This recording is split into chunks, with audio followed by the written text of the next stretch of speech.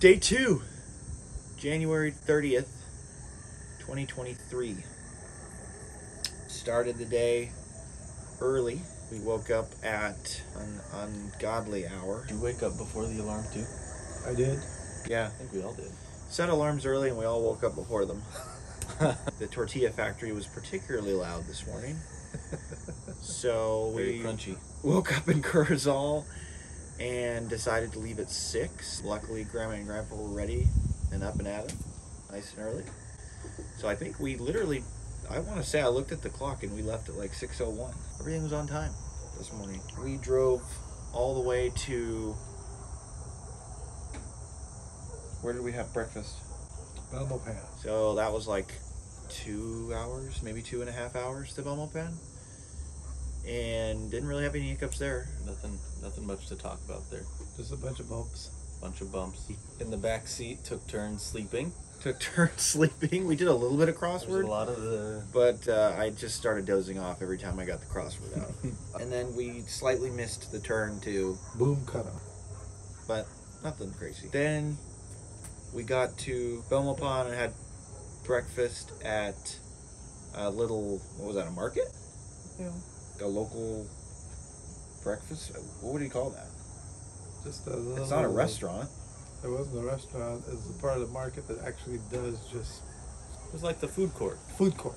Yeah. It was It's the- it their was the version of market the food court. The food court in a parking lot. They, with they all commerce. they all had about five seats Yeah. available. Oh, this really nice lady served us. We had fried jack with ham and eggs, And giant possum.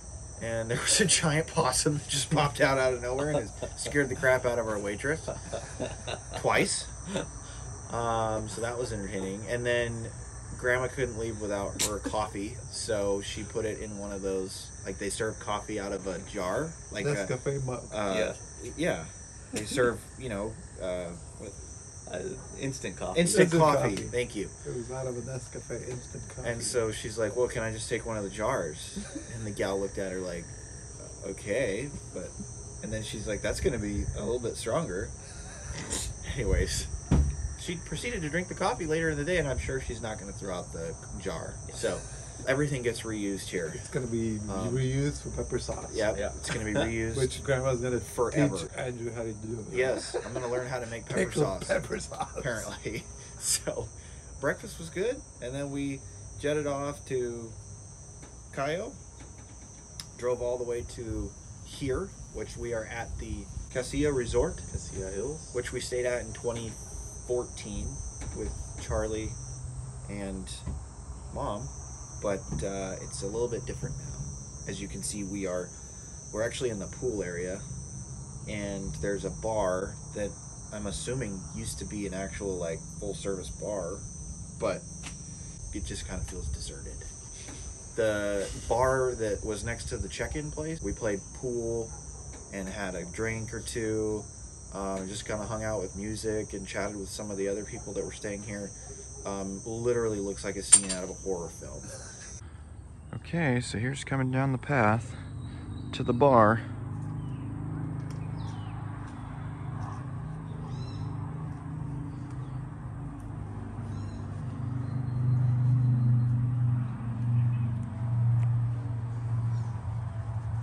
Kind of in shambles. This is weird. It used to have a lot of life. Charlie and I played pool on this thing for hours. Got drinks at the bar. There were chairs all over here, tables all over here. Now it's just kind of been let go. Got hit by Hurricane Martinez. That's all it takes. We've seen one other couple with a couple of small children here, but they've never even come within like 20 feet of us. So, anyways, we checked in here, found out we couldn't check in until 2.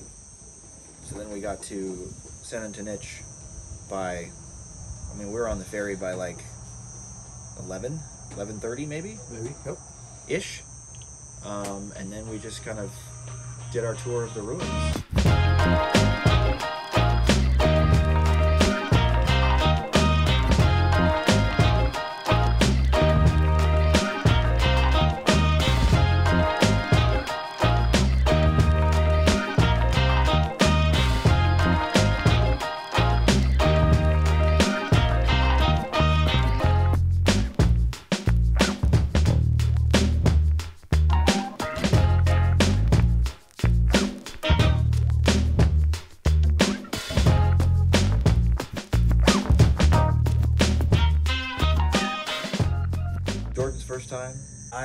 I was hoping that we were going to do some ritual sacrifice, but Yeah.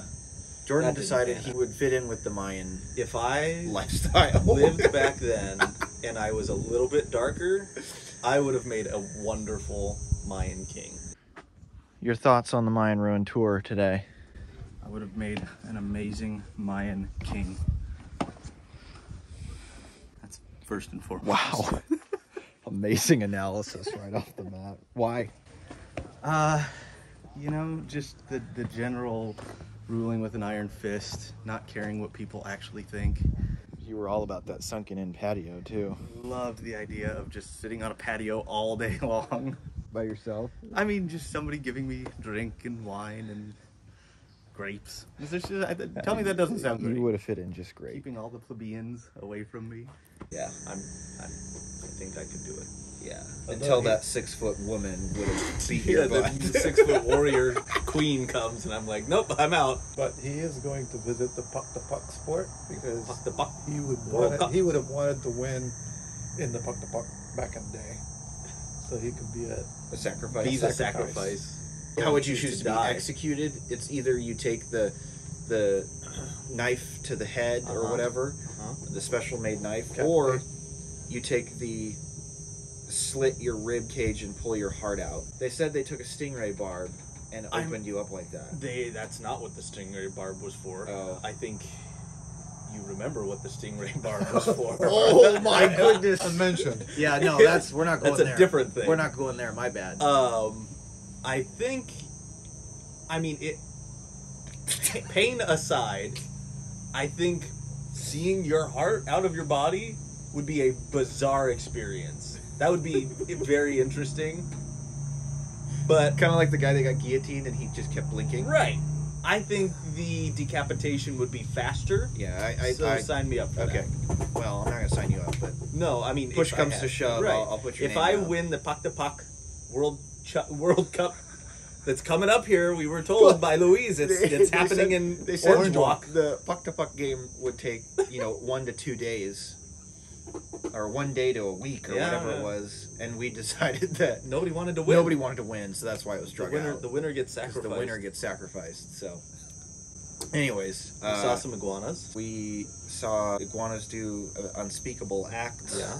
Saw some soldiers with some M16s, Mhm. just kind of casually patrolling the ruins. I think that has to do. That's just do with border proximity, right? With Guatemala. Yeah. Good tour. We probably were there for two and a half hours ish. Yeah. Two hours, two and a half. Yeah. And then we came back across on the ferry, got in the car, and we went right across the street to a place called Benny's Kitchen. Benny's Kitchen. But I don't know.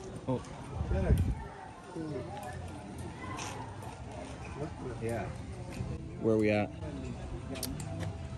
Uh, Benny's. Benny's Kitchen.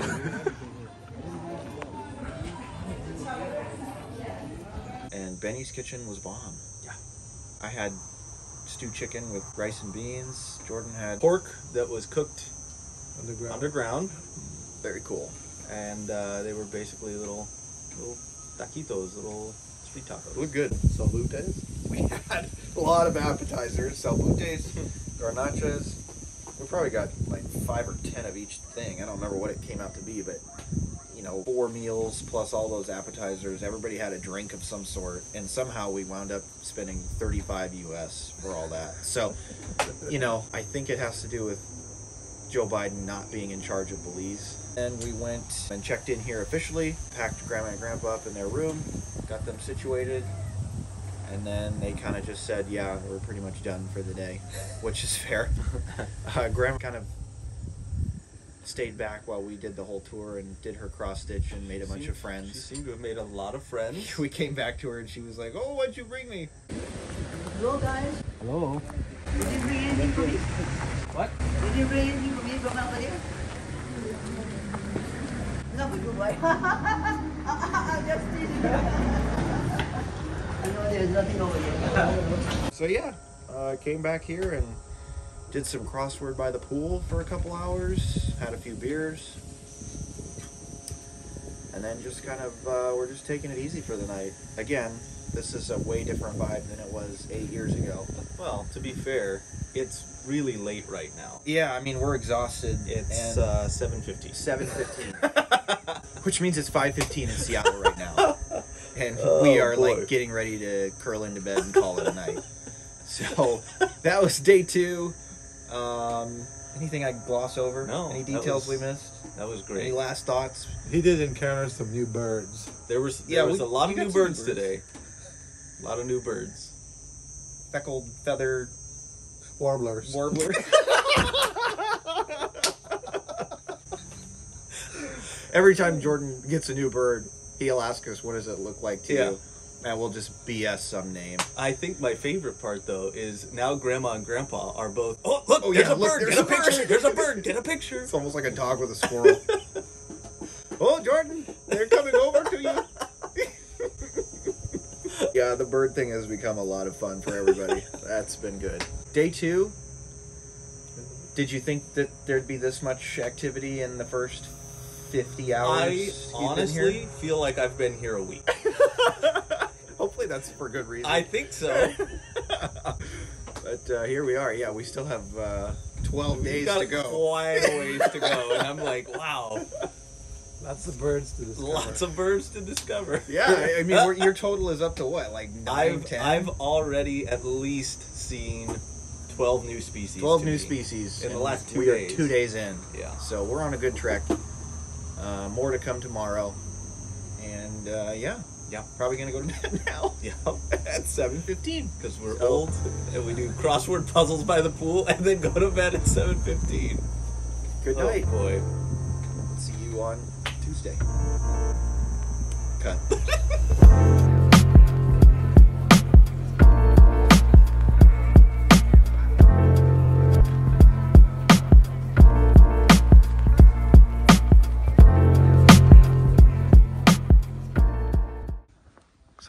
might come up here.